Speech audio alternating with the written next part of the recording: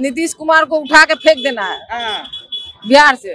बिहार से। हाँ और लालू जी के लड़का को भी फेंक देना है। कैलाशपति मिश्र भारतीय जनता पार्टी की जब दो सीट थी दो से यहाँ तक लाने में बिहार में उनकी महत्वपूर्ण भूमिका रही।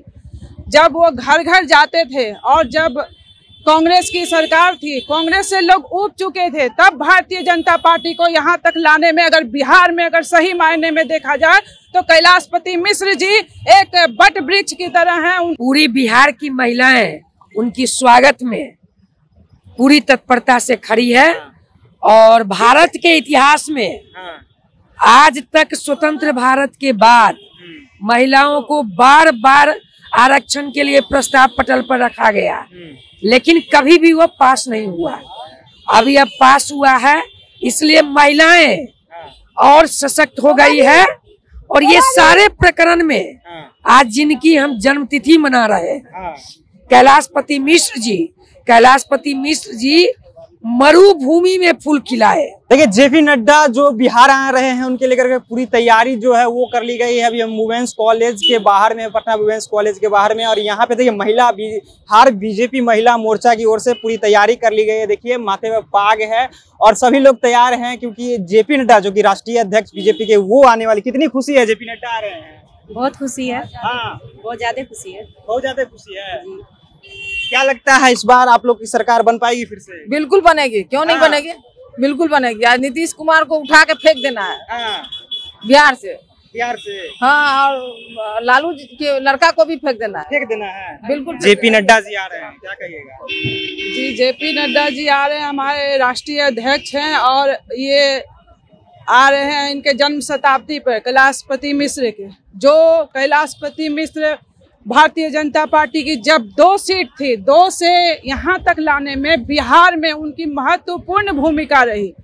जब वो घर घर जाते थे और जब कांग्रेस की सरकार थी, कांग्रेस से लोग उब चुके थे। तब भारतीय जनता पार्टी को यहाँ तक लाने में, अगर बिहार में अगर सही मायने में देखा जाए तो कैलाशपति मिश्र जी एक बट वृक्ष की तरह हैं। उनके साथ एक जगबंधु अधिकारी भी रहा करते थे। वो अभी नहीं है, लेकिन वो जो बट वृक्ष थे, उनकी छांव में आज पार्टी इतने मुकाम तक पहुँची है। और सबका साथ, सबका विकास, और हम लोग का यही नारा है, और सबका विकास। कैसे स्वागत करिएगा जेपी नड्डा राष्ट्रीय अध्यक्ष आ रहे हैं?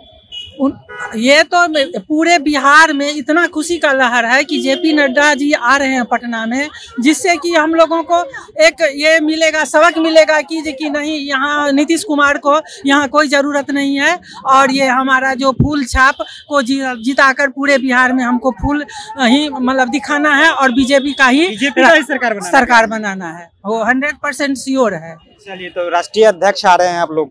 जी जी। राष्ट्रीय अध्यक्ष आ रहे हैं। पूरी बिहार की महिलाएँ उनकी स्वागत में पूरी तत्परता से खड़ी है और भारत के इतिहास में आज तक स्वतंत्र भारत के बाद महिलाओं को बार बार आरक्षण के लिए प्रस्ताव पटल पर रखा गया। लेकिन कभी भी वह पास नहीं हुआ। अभी अब पास हुआ है, इसलिए महिलाएँ और सशक्त हो गई है। और ये सारे प्रकरण में आज जिनकी हम जन्मतिथि मना रहे हैं। हाँ। कैलाशपति मिश्र जी कैलाशपति मिश्र जी मरुभूमि में फूल खिलाए। जिस समय हमारा कुछ नहीं था कार्यकर्ता सब खोजना पड़ता था। आज उन्हीं की पिलर पर आज जितना छत भाजपा का खड़ा है आज पिलर के रूप में स्वर्गीय कैलाशपति मिश्र जी की जो पिलर है उसको हम लोग कभी भूल नहीं सकते हैं और उन्हीं की उन्हीं के त्याग के कारण आज भाजपा 304 पर पूरे देश में है।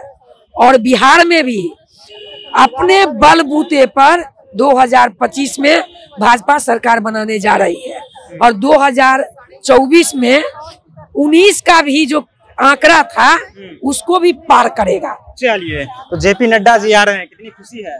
सबसे बड़ी बात है कि खुशी तो आपको दिख रहा है महिला के अथी में क्योंकि तो पहली बार तैतीस परसेंट आरक्षण मिलने के बाद पहली बार हम लोग के राष्ट्रीय अध्यक्ष आ रहे हैं और महिलाओं को विशेष इस बार सुविधा मिला है कि महिला ही खाली सम्मान करेगी।